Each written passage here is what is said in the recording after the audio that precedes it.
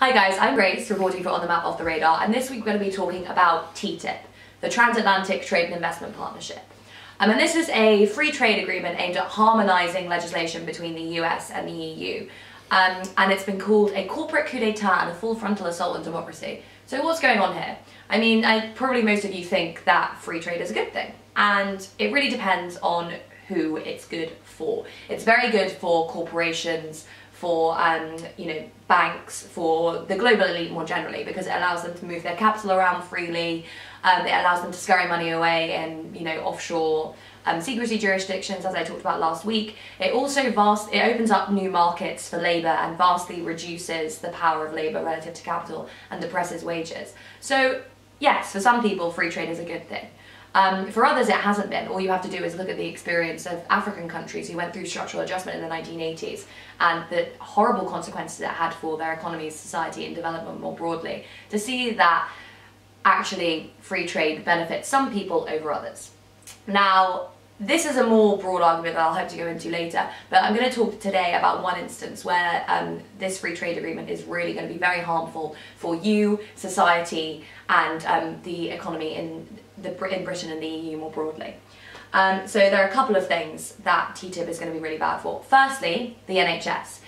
TTIP includes clauses which mean that um, governments who sign up to it have to commit to privatisation um, privatisation of public services, of um, various nationalised industries, um, so that US companies can come in and get involved in the provision of these services.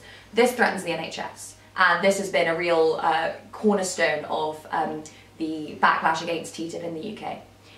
Secondly, banking regulation. I don't know if any of you know about this, but after the financial crisis, the US government introduced Dodd-Frank, which um, introduced a number of provisions about you know early warnings um, in the financial system, kind of harmonisation, um, sorry, streamlining of regulation, and um, you know provisions on executive pay and all these sorts of things, uh, which were aimed at preventing a repeat of 2007.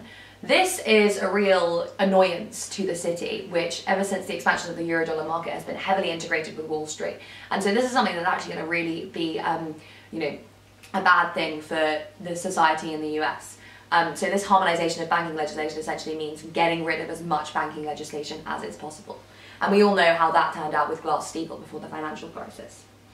Um, right, and then there's food and environment legislation. The US is notoriously lax on these fronts and where the um, EU has really pushed for a lot of environmental legislation, legislation around, um, you know, uh, food safety and these sorts of things, and that's going to be completely eviscerated by TTIP. Um, then there's privacy. I don't know if you, you guys remember, but a couple of years ago, um, the EU was voting on ACTA, which was um, about copyright infringement and about counterfeit goods. So this is like generic drugs produced by very poor countries to try and treat their populations of things like AIDS because they can't afford the drugs that are sold to them by big pharma in the US. So it was aimed at you know getting rid of that, and also aimed at um, internet piracy, which okay, fair enough, but that would mean that governments would be allowed to constantly monitor your internet activity 24/7, and that's why, because of um, pressure from civil society, this got rejected from the EU.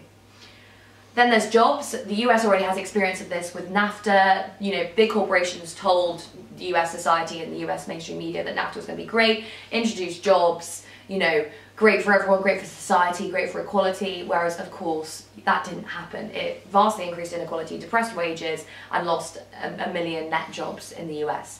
Um, so this is another example of corporate power co-opting the mainstream media and getting their regulation in through the back door. Um, and finally, the most important thing, corporate power.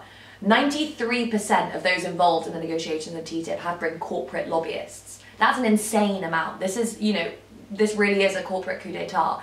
Another thing which is really important I want to talk to you about is um, Chevron in Ecuador. Chevron um, dumped a ton of toxic waste in the Ecuadorian rainforest a couple of years ago and this caused loads of problems, cancer, birth deformities, all these different things.